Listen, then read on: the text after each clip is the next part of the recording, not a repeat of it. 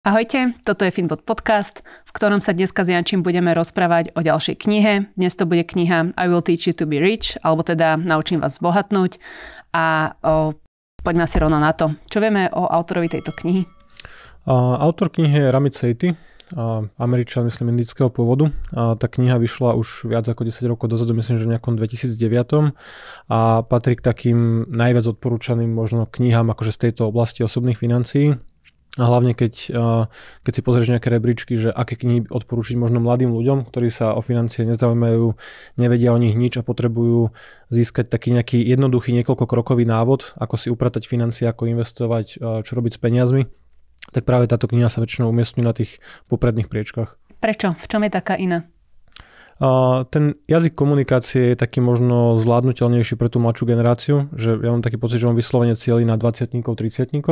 a zároveň ľudí, ktorí, akože mileniálov, ktorí aj lepšie zarábajú, že nerieši také tie základné problémy, že nie je to také direktívne ako Dave Ramsey, kedy ti povie, že musíš mať maximálne 15 ročnú hypotéku, dlh je zlý, zbav sa ho a investuje do nejakých podielových fondov, že má to tak akože ucelené, že komunikuje jednoducho, používa také príklady možno zo života mladých ľudí a snaží sa byť taký akože moderný. A aj tie, aj tie nástroje alebo tú cestu, ktorú vlastne odporúča, je taká zvládnutelná, keďže nehovorí o tom, že nemôžeš si kúpiť tú kávu a keby si investoval tie 3, 3 eur alebo 3 doláre, ktoré si kúpuješ denne latte, tak o tisíc rokov budeš mať takýto majetok, že toto akože veľa ľudí nezaujme ale skôr hovorí o tých nejakých základných myšlienkach, že ako nad financiami uvažovať, keď si nastavíš a automatizuješ tie osobné financie, šetrenie, investovanie, tak potom tie peniaze môžeš míňať bez toho, že by si mal mať nejaké akože úzkosti z toho, že si kúpiš niečo drahé, či už to je pre niekoho dovolenka, auto. Je to také do, do, prístupnejšie pre tých ľudí. Že dáva ti povolenie míňať, pokiaľ máš vyriešené tie ostatné hlavné kategórie. Áno, ja z toho názoru, že kreditné karty sú dobré a dá sa s nimi dobre pracovať. Samozrejme, tie slovenské pomery sú iné ako americké, pochopiteľne, tak uh-huh. čo si ty no, o to myslíš? Toto je taká slabá stránka, alebo že mnoho tých, tej americkej literatúry, ktorá sa potom prekladá akože aj na zvyšok sveta, alebo sú to proste čítané knihy, ľudia sa to zaujímajú, tak tie kapitoly o kreditných kartách častokrát môžeme preskočiť typicky, kebyže sa bavíme o americkom trhu, tak uh, má zmysel budovať si nejaké, nejaké kreditné skore, lebo čím máš lepší taký nejaký ako ten rating, že to je vlastne FICO score, ktoré vlastne hovorí o tom, akú máš nejakú úverovú kapacitu, ako pravidelne splácaš svoje záväzky a všetky tieto veci hľadom toho, tak v Spojených štátoch má zmysel platiť povedzme bežné výdavky kreditnou kartou a raz mesačne si ich vyplatiť, aby si neplatila tie 18, 19, 20 a viac percentné úroky, lebo ti to pomôže budovať to kreditné skore a vďaka tomu potom vieš získať výhodnejšie sadzby na hypotéke, vedia ťa uverovať pre akékoľvek iné potreby. Ale na Slovensku akože toto nejako zmysel nedáva, že jasné, keď niekto veľa cestuje, potrebuje tú kreditku kvôli rezerváciám hotela, aj keď to sa to všetko robí debetkou už dneska, mm. že ja som kreditku nikdy, nikdy nemal, ani asi mať nebudem, tak na Slovensku to akože nie je také dôležité a u nás alebo v tomto akože priestore, pokiaľ máš dobrý príjem, dobrú bonitu, nemáš nejaké negatívne zápisy vlastne v tých úverových registroch, tak získaš tú výhodnú hypotéku podľa všetkých tých parametrov, ktoré vlastne určuje Národná banka Slovenska, vieš sa financovať jednoducho lacno, čiže tú prácu s tými kreditkami celkovo môžeme akože odstrihnúť, keď sa bavíme o tomto type literatúry. Uh-huh. Uh, dobre, a čo sa týka uh, možno rozdelenia toho svojho príjmu, uh, ako si spomenul uh, automatizáciu, on mal taký konkrétnejší prístup k tomu, nie? Že mal by si automaticky si nastaviť o, niekoľko percent, ktoré budeš posielať na o, nejaký dôchodok, uh-huh. potom na nejaké dlhodobé ciele Áno,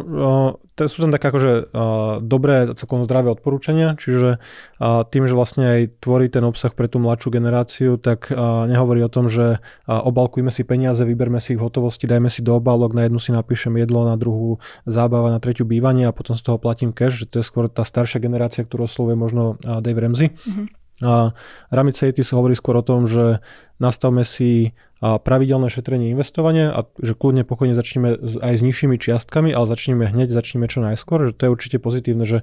celá tá kniha sa snaží nabádať toho čitateľa, aby okamžite niečo spravil. Že to je rozdelené, že tento týždeň si vyriešime kreditky, tento týždeň si sa porozprávame o nejakom raste príjmov, o investovaní, že je tam nejaký rýchly progres a vždy sa ťa snaží donútiť, aby si niečo spravila. Čiže konkrétne ti povie, že nastav si šetrenie na ten americký povedzme druhý pilier, tie 401k plány, pokiaľ ti tam prispieva zamestnávateľ, treba to využiť minimálne do, toho, do tej úrovne toho dorovnania toho meču, ktorý získavaš vlastne od firmy pravidelne si šetrí na nejaké strednodobé alebo také krátkodobé strednodobé ciele, väčšie výdavky, nejaká dovolenka, cestovanie, auto, kúpanie hnutelností a, a tak ďalej a treba automatizovať potom vlastne aj šetrenie a investovanie na dôchodok, čiže vybrať si nejaké nízkonákladové fondy a čo sa mi páči trošku menej je, že on odporúča tzv. target date fondy, čiže fondy, ktoré sa automaticky prispôsobujú investičnou stratégiou tvojmu veku a automaticky sa skonzervatívňujú predtým, než ideš na dôchodok. Akože áno, je to také naj, najjednoduchšie riešenie, že nemusíš počas života rozmýšľať nad tým, že koľko máš v akciách a v dlhopisoch, ale je tam aj akože spojených s tým pomerne veľa nevýhod, že ja nevidím dôvod, prečo by som len kvôli tomu, že mám 60 rokov, mal mať, ja neviem, 60% dlhopisov, akože keď trošku zjednoduším. Čiže sú tam také zjednodušenia, ale stále, že keby sa ľudia držali tých rád v tejto knihe, a možno niekto aj prekusne ten štýl komunikácie, ktorý nie každému musí sedieť, lebo je taký trošku akože otravný, mm-hmm. taký akože z toho, a, taký kazateľ, proste, mm-hmm. že ja všetko viem, ja som ten vzdelaný, šikovný, dobrý a vy toto spravte tak akože určite nikto by si nepoškodil a tie rady sú v zásade akože zdravé. Treba trošku rozlišovať, že nie pre každého je vhodný ten, ten target date fond alebo tieto life cycle fondy, tak ako funguje na Slovensku povedzme druhý dôchodkový pilier alebo európsky dôchodok PEP, že sa ti skonzervatívňuje, že ne, nepreberal by som každú radu, ale 80% z toho je akože úplne v pohode. Taký asertívny štýl um, vystupovania uh, je cítiť aj z toho, ako odporúča vyjednávať mhm. rôzne uh-huh. aj účty, ale aj svoje platy. Uh-huh. Um, to, toto je určite pozitívne, že uh-huh. v maloktorých knihách o osobných financiách, že väčšinou sa rieši tá výdavková strana, a kde ťa ten autor alebo ten človek nastaví na nejaký prísny budget, že budeš si nosiť jedlo, budeš si variť kávu, nekupuj si to latte v Starbucks a podobne, že všetko OK, že treba riešiť samozrejme tie výdavky, lebo tie máme akože plne pod svojou kontrolou v zásade od tohto dňa sa môžem rozhodnúť, že či si idem kúpiť nejaký snack na pumpe alebo proste obmedzím nejaké zbytočné výdavky na reštaurácie, zábavu, pokiaľ si to nemôžem dovoliť, ja som napríklad v dlhoch. Ale Ramit práve hovorí aj o tej druhej stránke príjmovej, viacej ako ostatní autory, že nemá podľa neho zmysel úplne sa zameriavať na nejaké troj dolárové výdavky, keď neriešiš tie 30 tisícové otázky, čiže a, aké máš kreditné skóre, či nebývaš možno v príliš drahej veľkej nehnuteľnosti a nemáš príliš vysoké tie fixné výdavky v tom rozpočte. A, presne, že treba sa zamerať na ten príjem, že treba vyjednávať o plate a teraz nie, že dojdem za zamestnávateľom, že chcem viac peňazí, ale sú tam nejaké konkrétne kroky, že treba si pripraviť nejaké podklady na nejaké to polročné ročné stretnutie, preukázať firme alebo tomu zamestnávateľovi nejakú pridanú hodnotu, čo som spravil navyše a prečo si zaslúžim vlastne ten vyšší plat. Treba držať krok s trhom práce, pozerať sa, ako sa zmenilo možno odmeňovanie na tých pozíciách, posúvať sa kariérne. Lebo práve tieto veľké položky, bývanie, mobilita, príjem, a do určitej miery možno aj nejaké akože potraviny a reštaurácie, sú práve to, čo ti spraví obrovský rozdiel v tých financiách, že to, či ušetríš 2 eurá denne, že to je pekné, jasné 2 eurá, keď investuješ na 30-40 rokov je fajn, ale pokiaľ sa ti podarí zvýšiť príjem, neviem, na Slovensku z 15 tisíc ročne, na povedzme 20 tisíc, že povedzme o 20-30% narastie tvoj príjem a celkovo nastavíš si tú trajektóriu, že tá kariéra sa vyvíja lepším smerom, rýchlejšie, zarábaš viacej, tak logicky dokážeš viacej investovať, viac odložiť a vo finále mať aj akože podstatne lepší výsledok ako nejaké vybudované bohatstvo, zabezpečenie, a tak ďalej. Hlavne tie výdavky nemôžno mm. osekávať do nekonečna, kdežto ano. ten príjem vie rásť Takže takmer výdav, výdavky majú svoje dno, že aj keď by si išla tou cestou finančnej nezávislosti FIRE, a, ktorých akože on sa stavia skôr do takého protikladu, že treba si tie peniaze užívať, treba, si, treba ten život aj žiť, lebo nie každého osloví tá predstava, že teraz budem si každý deň nosiť akože obedy do práce, aby som ušetril tých 3 eurá alebo 2,50 oproti tomu, keď si to dám to menučko v nejakej kantíne tak on vlastne týmto ľuďom práve sa snaží apelovať na to, že OK, že znižme tie výdavky, kde to je akože dôležité, potrebné, tie veľké drahé položky, presne to bývanie, že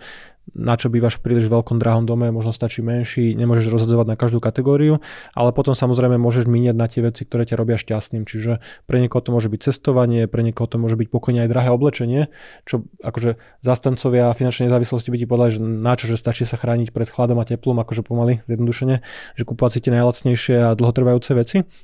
on je akože úplne autor v pohode s tým, že OK, tak si kupujte drahé kabelky, lodičky a podobne. Pokiaľ rastie váš príjem, pokiaľ investujete 10, 15, 20% vášho príjmu, tak potom tie zvyšné peniaze môžete míňať na čokoľvek, čo vás robí šťastným. Čiže on tak trošku premenoval taký ten uh, rozumný prístup uh, k deleniu financií, k budžetovaniu, len to upravil pre tú mladšiu generáciu, aby to bolo stráviteľnejšie. Čiže nehovorí o rozpočte, ale hovorí o nejakom CSP, Conscious Spending Plan, čo je v podstate premenovaný budget rozpočet. Takže, uh, je, On zjednodušený možno trošku. Zjednodušený, no, že toto sa mi akože nepáči, že, sa, že vytvoríš si nejaký vlastný pojem a dávaš to ako do protikladu voči tým direktívnym prístupom, kdežto vo finále je toto isté. Ale určite si týmto získava väčšiu popularitu, keď ako jeden z malých autorov hovorí o tom, ako peniaze míňať a nielen o tom, ako peniaze šetriť. Áno, akože mne sa to páči, akože čo by som ja vypichol je presne tá automatizácia tých osobných financí, že nešpekulovať, či na konci mesiaca zainvestujem. Nie, na začiatku mesiaca sa investuje 10, 15, 20%, zvyšok míňam, že už len toto je akože e, stojí za to, keby sa to uložilo v tých hlavách a ľudia by to robili a presne, že treba ten život žiť, míňať. On sa snaží, akože samozrejme tak ako každý iný autor o osobných financiách alebo drvá väčšina, snaží sa ti potom predať nejaké ďalšie svoje produkty, kurzy, školenia, naučiť ťa vyjednávať o príjme a samozrejme zaplatiť za ten kurz, neviem, 5000 dolárov a podobne. Že treba, je kritizovaný trošku. Je, že tohto sa treba vyvarovať, ale to, toto isté platí aj pre Roberta Kiyosakiho akurát krát 10. Uh-huh. Mhm. A, čiže zase je tam nejaká zaslúžená kritika že aj v tej knihe nájdeš mnoho nejakých odkazov na to, že absolvuj takéto moje školenie, alebo keď chceš nejakú podpornú skupinu a proste, tak tu si zaplat 2, 3, 5 tisíc dolárov za nejaký coaching call, že ti zavolá a vedie tú skupinu, ale akože vo finále tie osobné financie nemusia byť až také komplikované, že mm-hmm. nastavíš si rozpočet, pravidelne investuješ, sleduješ si na čo míňaš a upravuješ to tak, ako sa mení životná situácia, že týmto by sme to zhrnuli do pár vied a, a každý si hľada na trhu nejakú, ne, nejakú vlastne taký ten níž, že aby oslovil tých, ktorých ešte neoslovil, lebo je to ako samozrejme veľmi výnosné a úspešné a on sa práve zameral na tých 20 30 ktorí nechcú počúvať o tom, že si nemôžu kúpiť nový iPhone, nové tenisky alebo svoje pravidelné denné latte a oslovuje ich akože iným štýlom komunikácie. Hovorím, že nie sú tam také nejaké oblasti, kde by sme vyslovene povedali, že toto, čo hovorí, je hlúposť, mm. že on je skôr aj vlastne ohľadom takých tých veľkých výdavkov ako bývanie nehovorí o tom, že 15-ročná hypotéka a zbaviť sa dlho, ale hovorí o tom, že napríklad znovu veľa autorov ti odporúči zobrať si hypotéku, lebo splácaš si vlastné, rastie to na hodnote a práve Ramit Seyti je niekto, kto hovorí o tom viacej na základe nejakých dátových výsledkov alebo teda toho, ako realita skutočnosti funguje že nie pre každého musí dávať zmysel vlastniť tú nehnuteľnosť, ktorej býva. A keď už áno, tak to berme ako výdavok, že bývanie nie je vždy aktívum, lebo americké dáta krásne hovoria o tom, že na dlhom investičnom horizonte, to sú dáta vlastne od Roberta Schillera, myslím, americký realitný trh rastie cirka na úrovni inflácie, 0 až 1% nad infláciou podľa toho, aké obdobie si vypichnem. Čiže to bývanie, tá nehnuteľnosť nie je nejaká tutovka, skôr sa pozerajme na to, že či bývame v tej oblasti za taký výdavok, ktorý nám dáva zmysel a skôr tie peniaze investujeme, že sú tam také akože čerstvé pohľady, ktoré dávajú, akože hovorím, má zmysel sa nad nimi zamyslieť minimálne. Ja som si všimla, že to je jedna z kníh, ktorú najčastejšie ľuďom odporúčaš. A práve preto, že je tam nejaký, je tam nejaký akože trošku direktívny postup, že čo máš spraviť, že dobre, preskočme nejakú kapitolu o kreditkách, ale že mnoho ľudí sa nezamýšľa práve nad tou príjmovou stránkou, že potrebujú možno trošku nakopnúť, že, že je ľahšie zarobiť 100 eur navyše, zase s na osobnú situáciu to nemusí platiť úplne plošne, ako ušetriť tých 100 eur, pokiaľ už máš nastavené šetrenie na maxime, že keď zarábaš priemernú mzdu, tak ja by som radšej 100 eur venoval, že by som si kúpil 6 alebo 10 kníh, ktoré ma možno posunú niekde ďalej, naučím sa niečo z tej svojej oblasti a toto je čo sa dosť akože uh, ignoruje, že väčšinou vidíš skôr len také, že uh, nemiň si, nekúp, nechoď von, nechoď na dovolenku a splácaj dlhy, kdežto veľmi dôležitá je tá príjmová stránka. Čiže ja by som ju odporúčil ale hovorím, že treba to vždy nebrať jednak jednej, že vidím, prečítam, aplikujem to dokonale, treba sa nad tým zamyslieť a nejako to akože začleniť do toho svojho akože života, do tej svojej reality. Ako si spomenul, dôležité je to zvyšovanie príjmu a to je presne téma, o ktorej sa budeme baviť v ďalšom podcaste, kde budeme hovoriť o tom, ako investovať aj do seba. Tak o, ja si myslím, že už nemusíme predbiehať viacej Jasne. a môžeme to... Čiže za mňa, keby som to tak zhrnul, že určite dobrá kniha. Žiaľ, akože nie je dostupná v slovenčine, v češtine, čiže nie je preložená, čiže keď chcete, treba si, treba si kúpiť akože v angličtine, alebo ako Kindle, elektronickú knihu, alebo Audible, nejakú, nejakú audioknihu. Čiže ja by som tých 10-15 eur, ktorá tá kniha možno stojí, akože videl ako dobre vynaložený výdavok a tým, že je aj tak ľahko písané, tak ju prečítaš reálne za 2 za 3 dní. Pokiaľ sa do toho akože si to každý deň prečítaš proste nejakú hodinku, že nie, nie je to nejaká akademická učebnica a tie, tie rady sú akože v zásade OK. Super. Tak to asi môžeme ukončiť a v ďalšom podcaste teda sa budem baviť o tých príjmoch. Tak, majte sa pekne a ak máte iný názor na kreditky, radi ich využívate alebo na akúkoľvek inú tému, budeme radi, keď sa o, o to podelíte v komentároch pod videom. Dovidenia, do počutia. Ahojte, majte sa.